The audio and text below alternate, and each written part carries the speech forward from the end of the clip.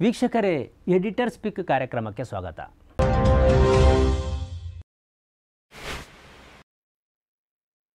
ಸಾವಿನ ಮನೆಯ ಕಣ್ಣೀರಿಗೆ ಬಣ್ಣಗಳಿಲ್ಲ. ಆ ಮನೆಯ ದುಃಖಕ್ಕೆ ಧರ್ಮಗಳಿಲ್ಲ. ಸಮಾಜ ಒಂದು ಮನೆಯನ್ನು, ಹಿಂದೂ ಇನ್ನೊಂದು ಮನೆಯನ್ನು ಮುಸ್ಲಿಂ ಮತ್ತು ಮತ್ತೊಂದು ಮನೆಯನ್ನು ಕ್ರೈಸ್ತ ಎಂದು ವಿಭಜಿಸಿ ಗುರುತಿಸಿಕೊಂಡಿರುತ್ತೆ. ಅದಕ್ಕೆ ಆ ಮನೆಯ ನಂಬಿಕೆಗಳೇ ಕಾರಣ. ಒಬ್ಬರು ಮಸೀದಿಗೆ ಹೋದರೆ ಇನ್ನೊಬ್ಬರು ಮಂದಿರಕ್ಕೆ ಹೋಗ್ತಾರೆ ಮತ್ತೊಬ್ಬರು ಚರ್ಚಿಗೆ ಹೋಗ್ತಾರೆ. ಆದರೆ ಈ ಮೂವರು ಬಾಯಾರಿದಾಗ ನೀರನ್ನೇ ಕುಡಿತಾರೆ, ಹಸಿವಾದಾಗ ಊಟವನ್ನೇ ಮಾಡ್ತಾರೆ, ಸುಸ್ತಾದಾಗ ನಿದ್ರೆ ಮಾಡ್ತಾರೆ, ಖುಷಿಯಾದಾಗ ನಗ್ತಾರೆ, ದುಃಖವಾದಾಗ ಅಳ್ತಾರೆ. ನಂಬಿಕೆ ಬೇರೆ ಬೇರೆ ಇರಬಹುದು. ಆದರೆ ಮನುಷ್ಯರೆಂಬ ನೆಲೆಯಲ್ಲಿ ಭಾವನೆಗಳೆಲ್ಲ ಸಮಾನ. ಇಲ್ಲಿ ಎರಡು ವಿಡಿಯೋಗಳನ್ನು ಪ್ಲೇ ಮಾಡ್ತೀವಿ, ನೋಡಿ. ಎಲ್ಲ ನನ್ನ ಅಣ್ಣ ತಮ್ಮಂದಿರಿಗೂ ಕೈ ಮುಗಿದ್ ಬೇಡ್ಕೋತೀನಿ, ಮುಸ್ಲಿಮ್ಗೂ ಬೇಡ್ಕೋತೀನಿ ಅವ್ರಿಗೂ ಬೇಡ್ಕೋತೀನಿ. ನಿಮ್ಮ ಅಪ್ಪ, ಅಮ್ಮಂಗೆ ಒಂದು ಒಳ್ಳೆ ಮಕ್ಕಳಾಗಿರಿ ಹೊರ್ತು ಇದೆಲ್ಲ ಮಾಡಕ್ ಹೋಗ್ಬೇಡಿಪ್ಪ. ಅವ್ರವ್ರ ದೇವ್ರು ಅವ್ರವ್ರಿಗೆ ಮುಖ್ಯ ನಾನಿಲ್ಲ ಅಂತ ಹೇಳ್ತಿಲ್ಲ. ಹಂಗಂತ ಈ ಥರ ರೋಡ್ ರೋಡಲ್ಲಿ ಹೊಡೆದಾಕಿದ್ರೆ ಏನು ಸರ್ ಮಾಡೋಣ ನಾವು? ಈ ಘಟನೆ ಇನ್ನೊಮ್ಮೆ, ಇನ್ನೂ ತಂದೆ ತಾಯಿಗೆ, ಯಾರೂ ತಂದೆ ತಾಯಿಗೆ ಬರಬಾರ್ದು. ಯಾವುದು ಹಿಂದೂ ಅಲಿಯ ಮುಸಲ್ಮ್ ಮುಸಲ್ಮಾನ ಯಾವುದು, ಯಾರೂ ತಂದೆ ತಾಯಿಗೆ ಇಂಥ ಘಟನೆಯನ್ನು ಆಗಬಾರ್ದು. ಇಂಥ ಘಟನೆ ಮಾಡಿದವರಿಗೆ ದೊಡ್ಡ ಕಟ್ಟಿನ ಶಿಕ್ಷೆ ಕೊಡಬೇಕು. ಸರ್, ಇದೇ ನಾನು ಕೇಳ್ಕೊಳ್ಳೋದು ಮತ್ತೇನಿಲ್ಲ, ಅವ್ರಿಗೆ ಪಾಂಶಿ ಆರಂಭ, ಪಾಂಶಿ ಸಜಾರ್ ಮಾಡಬೇಕು ಸರ್ ಅವ್ರಿಗೆ. ಇಂಥ ಗಲ್ಲು ಶಿಕ್ಷೆ ಕೊಡಬೇಕು ಸರ್. ನಾ ಏನು ಹೇಳೋದು ಇದೇ ಇದೆ ಎಲ್ಲ ನಮ್ಮ ಮನೆಯಲ್ಲಿ ಪೂರ್ತಿ ದುಃಖ, ಭಾಳ ದುಃಖ ಅನ್ಕೊ ಅನುಭವಿಸಾಗತ್ತೇವೆ ಸರ್. ಇದರಲ್ಲಿ ಒಂದು ಸಮೀರ್ ಶಹಾಪೂರ್ ಎಂಬ ಯುವಕನ ತಂದೆಯದ್ದಾದರೆ ಇನ್ನೊಂದು ಹರ್ಷನ ಸಹೋದರಿಯದ್ದು. ಶಿವಮೊಗ್ಗದ ಹರ್ಷ ಹತ್ಯೆಗೀಡಾಗುವುದಕ್ಕಿಂತ ತಿಂಗಳ ಮೊದಲು ಗದಗ ಜಿಲ್ಲೆಯ ನರಗುಂದದ ಸಮೀರ್ ಎಂಬ ಯುವಕನ ಹತ್ಯೆಯಾಗಿತ್ತು. ಹರ್ಷ ಮತ್ತು ಸಮೀರ್ ಇಬ್ಬರು ಹತ್ಯೆಗೀಡಾದುದು ರಾತ್ರಿಯ ಸರಿಸುಮಾರು ಒಂದೇ ಅವಧಿಯಲ್ಲಿ. ಇಬ್ಬರು ಎಳೆಯ ಹುಡುಗರು ಸಮೀರನ ತಂದೆ ಮತ್ತು ಹರ್ಷನ ಸಹೋದರಿ ವ್ಯಕ್ತಪಡಿಸಿದ ಅಭಿಪ್ರಾಯಗಳನ್ನು ನೀವು ಮತ್ತೊಮ್ಮೆ ಗಮನವಿಟ್ಟು ನೋಡಿ. ಇಬ್ಬರ ದುಃಖವೂ ಒಂದೇ, ಇಬ್ಬರ ಸಂಕಟವೂ ಒಂದೇ, ಅವರು ವ್ಯಕ್ತಪಡಿಸಿದ ಪದಗಳಲ್ಲಿ ಮಾತ್ರ ವ್ಯತ್ಯಾಸ ಇದೆ.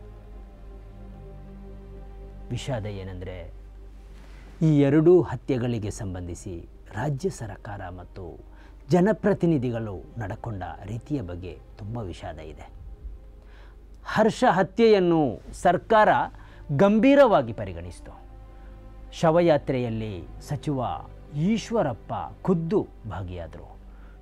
ಸೆಕ್ಷನ್ ಒನ್ ಫಾರ್ಟಿ ಫೋರನ್ನು ಅವರು ಲೆಕ್ಕಿಸಲಿಲ್ಲ. ಸಂಸದರು ಮತ್ತು ಶಾಸಕರು ಹರ್ಷನ ಮನೆಗೆ ಭೇಟಿ ಕೊಟ್ಟು ಸಾಂತ್ವನ ಹೇಳಿದರು. ಉತ್ತರ ಪ್ರದೇಶದಲ್ಲಿರುವ ಸಚಿವೆ ಶೋಭಾ ಕರಂದ್ಲಾಜೆ ಹೇಳಿಕೆ ಕೊಟ್ಟರು. ಮುಖ್ಯಮಂತ್ರಿಗಳು ಮತ್ತು ಗೃಹ ಸಚಿವರು ಎಲ್ಲರೂ ಹತ್ಯೆಯನ್ನು ಖಂಡಿಸಿ ಪ್ರತಿಕ್ರಿಯೆ ವ್ಯಕ್ತಪಡಿಸಿದರು. ಮುಖ್ಯಮಂತ್ರಿಯ ರಾಜಕೀಯ ಸಲಹೆಗಾರರಾದ ರೇಣುಕಾಚಾರ್ಯ ಒಟ್ಟು ಆರು ಲಕ್ಷ ರೂಪಾಯಿಯನ್ನು ಕುಟುಂಬಕ್ಕೆ ಕೊಡುವುದಾಗಿ ಘೋಷಿಸಿದರು. ಮಂಗಳೂರು ದಕ್ಷಿಣ ವಿಧಾನಸಭಾ ಕ್ಷೇತ್ರದ ಶಾಸಕ ವೇದವ್ಯಾಸ ಕಾಮತ್ ಅವರು ಎರಡು ಲಕ್ಷ ರೂಪಾಯಿ ಪರಿಹಾರ ನೀಡುವುದಾಗಿ ಘೋಷಿಸಿದರು. ಮಂಗಳೂರು ಉತ್ತರ ವಿಧಾನಸಭಾ ಕ್ಷೇತ್ರದ ಶಾಸಕ ಡಾಕ್ಟರ್ ಭರತ್ ಶೆಟ್ಟಿ ಒಂದು ಲಕ್ಷ ರೂಪಾಯಿ. ಬಂಟ್ವಾಳ ಶಾಸಕ ರಾಜೇಶ್ ನಾಯಕ್ ಒಂದು ಲಕ್ಷ ರೂಪಾಯಿ. ಬೈಂದೂರು ಶಾಸಕ ಸುಕುಮಾರ್ ಶೆಟ್ಟಿ ಒಂದು ಲಕ್ಷ ರೂಪಾಯಿ. ಉಡುಪಿ ಶಾಸಕ ರಘುಪತಿ ಭಟ್ ಒಂದು ಲಕ್ಷ ರೂಪಾಯಿ ನೀಡುವುದಾಗಿ ಘೋಷಿಸಿದರು. ನಿಜಕ್ಕೂ ಇದು ಸ್ವಾಗತಾರ್ಹ. ಸಂತ್ರಸ್ತ ಕುಟುಂಬದ ಜೊತೆ ನಿಲ್ಲಬೇಕಾದುದು ಸರ್ಕಾರ ಮತ್ತು ಜನಪ್ರತಿನಿಧಿಗಳ ಜವಾಬ್ದಾರಿ. ಅಂದಹಾಗೆ, ಹರ್ಷನ ಜೀವಕ್ಕೆ ಈ ಹಣ ಬದಲಿಯಾಗದು ನಿಜ. ಆದರೆ ಸಂತ್ರಸ್ತ ಕುಟುಂಬಕ್ಕೆ ಅದು ನೈತಿಕ ಬಲವನ್ನು ಖಂಡಿತ ಒದಗಿಸಿಕೊಡುತ್ತೆ. ದುರಂತ ಏನಂದರೆ, ಸಮೀರ್ ಶಹಾಪುರ್ ಎಂಬ ಹುಡುಗನ ಹತ್ಯೆಗೆ ಸಂಬಂಧಿಸಿ ಇಂಥ ಯಾವ ಬೆಳವಣಿಗೆಗಳು ನಡೆದಿಲ್ಲ. ಸ್ಥಳೀಯ ಬಿ ಜೆ ಪಿ ಶಾಸಕ ಸಿ ಸಿ ಪಾಟೀಲ್ ಸಹಿತ ಯಾರೂ ಆ ಮನೆಗೆ ಭೇಟಿಯನ್ನು ಕೊಟ್ಟಿಲ್ಲ. ಸಂಸದರು ಮತ್ತು ಸಚಿವರು ಹೇಳಿಕೆಗಳನ್ನು ನೀಡಿಲ್ಲ. ಆ ಹುಡುಗನ ಮನೆಗೆ ತೆರಳಿ ನೊಂದ ಹೆತ್ತವರಿಗೆ ಪುಟ್ಟ ಸಾಂತ್ವನ ಹೇಳುವುದಕ್ಕೆ ಒಬ್ಬನೇ ಒಬ್ಬ ಜನಪ್ರತಿನಿಧಿ ಹೋಗಿಲ್ಲ.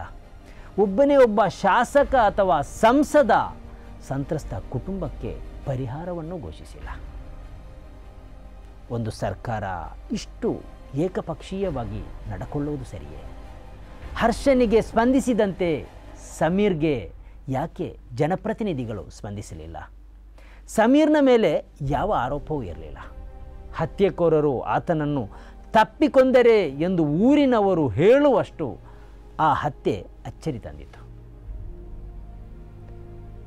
ಆರು ಕೋಟಿ ಕನ್ನಡಿಗರನ್ನು ಸಮಾನವಾಗಿ ನೋಡಬೇಕಾದ ಮತ್ತು ಪೊರೆಯಬೇಕಾದ ಸರ್ಕಾರವೊಂದು ಇಷ್ಟು ಏಕಮುಖವಾಗಿ ನಡೆಕೊಂಡರೆ ಹೇಗೆ? ಜನಪ್ರತಿನಿಧಿಗಳು ಇಷ್ಟು ನಿಷ್ಠುರವಾಗಿ ವರ್ತಿಸಿದರೆ ಹೇಗೆ? ಆರಂಭದಲ್ಲಿ ತೋರಿಸಲಾದ ವಿಡಿಯೋವನ್ನು ಮತ್ತೊಮ್ಮೆ ಪ್ಲೇ ಮಾಡಿ ನೋಡಿ. ಅವರಿಬ್ಬರ ಸಂಕಟಗಳು ಒಂದೇ, ನೋವು ಒಂದೇ. ಜನಪ್ರತಿನಿಧಿಗಳೇ ಎದೆ ಮುಟ್ಟಿ ಹೇಳಿ. ನಿಮ್ಮ ಈ ನಡೆ ಧರ್ಮಬದ್ಧವೇ? ನ್ಯಾಯವೇ? ವೀಕ್ಷಕರೇ, ಇದು ಈ ಹೊತ್ತಿನ ಎಡಿಟರ್ ಸ್ಪೀಕ್ ಇನ್ನೊಂದು ಕಾರ್ಯಕ್ರಮದೊಂದಿಗೆ ನಿಮ್ಮ ಬಳಿಗೆ ಬರ್ತೇನೆ. ಅಲ್ಲಿಯವರೆಗೆ ವೀಕ್ಷಿಸ್ತಾ ಇರಿ ಸನ್ಮಾರ್ಗ ನ್ಯೂಸ್, ಸುದ್ದಿಗಳ ಸಂತೆಯಲ್ಲಿ ಸತ್ಯದ ಮೊಂಬತ್ತಿ.